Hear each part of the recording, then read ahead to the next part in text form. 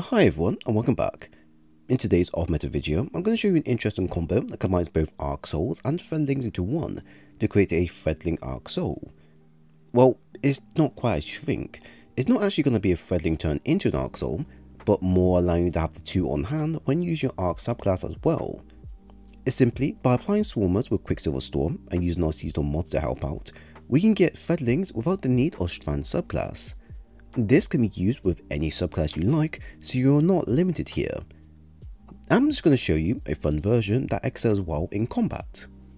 To start, you're going to want to have Arc Soul, where casting your Rift will grant you and allies an Arc Soul, while Amplified your Arc Souls fire faster. And then you want Electrostatic Mind, where defeating a target with Arc abilities, or defeating a Jolt target create Ionic Traces. Collecting Traces makes you Amplified. The Arc Souls along with Ionic Tracer's effects will allow us to have a supercharged Soul at all times, which is great against the minor to major threats. This in many ways will help with allowing us to get faster tangles via primary as it will take less time for us to build up our grenade launcher rounds to cause a tangle to be created. Simple things like this make Arc Souls a lot more worthwhile in the long run. For the fragments, Spark of Resistance where while surrounded you are more resistant to incoming damage by 40%, Spark of Magnitude, where your lingering grenades have extended duration, Spark of Ions, where defeating a jolt target creates an ion trace, and Spark of Shock, where your arc grenades jolt targets. Because of the freedom the build, you can pick whatever fragments best suit you, whether you use an arc weapon, or want to focus more on ability usage. For me, having a higher and faster ability usage will allow us to take out the tougher combatants when we need it most, or when we need to quickly get our rift back fast. Spark of Ions, Magnitude and Shock will further enhance our stats with their extra benefits provided, and with how strong Jolt targets are, you can use this along with Threadlings to sow utter chaos. Although Threadlings do feel weak, something like Jolt will help boost the damage that a Threadling can do with its damage over time effect, and then we also have the Unravel effect, which further damage on top of what we currently have. For the mods and stats section, both Discipline and Recovery will play a big part within the build itself, but do remember, a lot of things shown can be easily achieved via the focus mods and just using your arc subclasses for Ionic Traces effects. At tier 7 to 9 for Discipline, we will be able to produce an arc grenade at a very fast rate without the need of Font of Focus or Demolitionist Perk to help.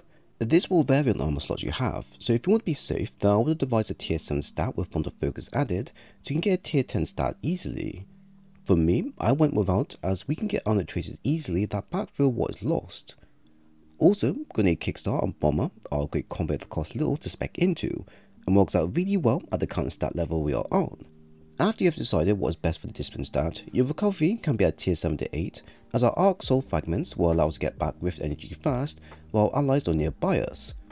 Along with distribution and our traces, we also have the Bolstering Detonation mod that will give us back 20% class ability energy on grenade damage, which is great for how strong a pulse grenade is, you can go higher and aim for a tier 10 if you can, but I found that you really don't need to go the extra mile just to achieve a faster rift speed, as you currently have a well placed mod and buff system in place.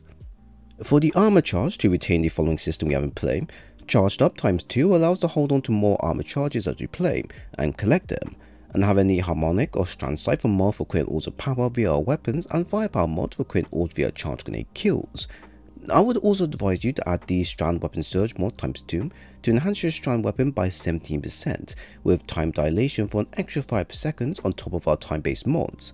And lastly, the Reaper mod will help getting an extra Orb power while using all rifts, and the Ashes to Assets mod will help getting super energy back fast so we can use and abuse as much as we like. Now, lastly, the weapons being used will need to be Quicksilver Storm with its catalyst unlocked, or else you can't do the following. With a catalyst, every time we use our grenade launcher and get a kill with it, we can create a tangle without the use of strand subclass. This here is how the build will work when combined with swarmers, as I've noticed that you cannot create tangles outside of your selected subclass unless it's strand. The catalyst isn't hard to complete, and the weapon as a whole is really good and strong to use and a lot of the content provided. Also, remember that the weapon has received a exotic buff to enhance its damage against red bar enemies, this, along with an Arc Jordan effect, makes the weapon an absolute killer in the higher difficulties. Heavy-wise, the circular logic with Envious Assassin and Hatchling is the go-to perk combo to have when using the following build. The ability to overload the weapon will allow us to longer use a machine gun against waves of combatants, or even a boss depending on the situation at hand.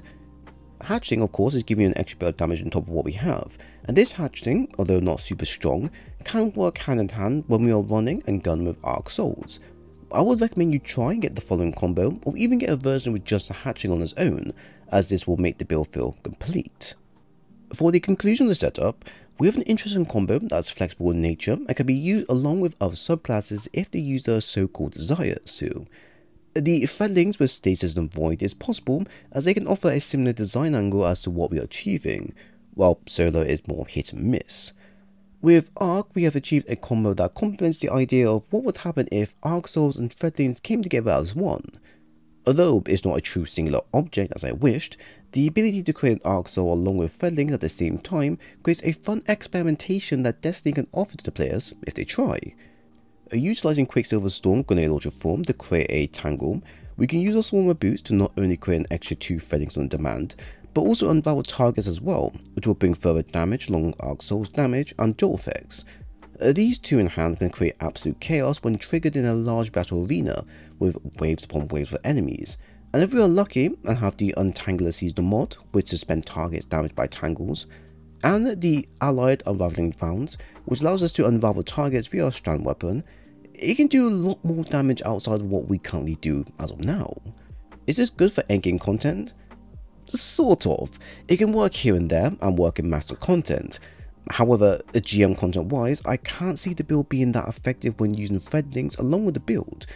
Because the Threadlings need the Thread of Evolution Fragment to enhance their damage for Grandmaster content, they won't be as effective compared to using them in Legend to Master tier content. Uh, this is more because of Bungie's decision with making them highly reliable on a singular fragment to make them viable in some way or form, which sadly means Threadlings don't have much space to freely be used unless you are aware of the cons to them. The build for me is enjoyable because the flexibility it provides, but also because I like to see what experiments can be done when using different elements that shouldn't really work. Nonetheless, a fun combo you can use for battlegrounds and weekly missions if you like to mix things up. But what do you think of the build? So there we have it. I hope you all enjoyed the build breakdown. If you have any thoughts on content shared, then please leave a comment below at the same time if you enjoy the content and want more of these videos in the future, then leave a like and sub here. I will leave a dim link for the build below. And if you want more stuff like this, then I have a playlist available covering all types of builds you desire. It was great sharing today's video with you all. I hope to see you again soon.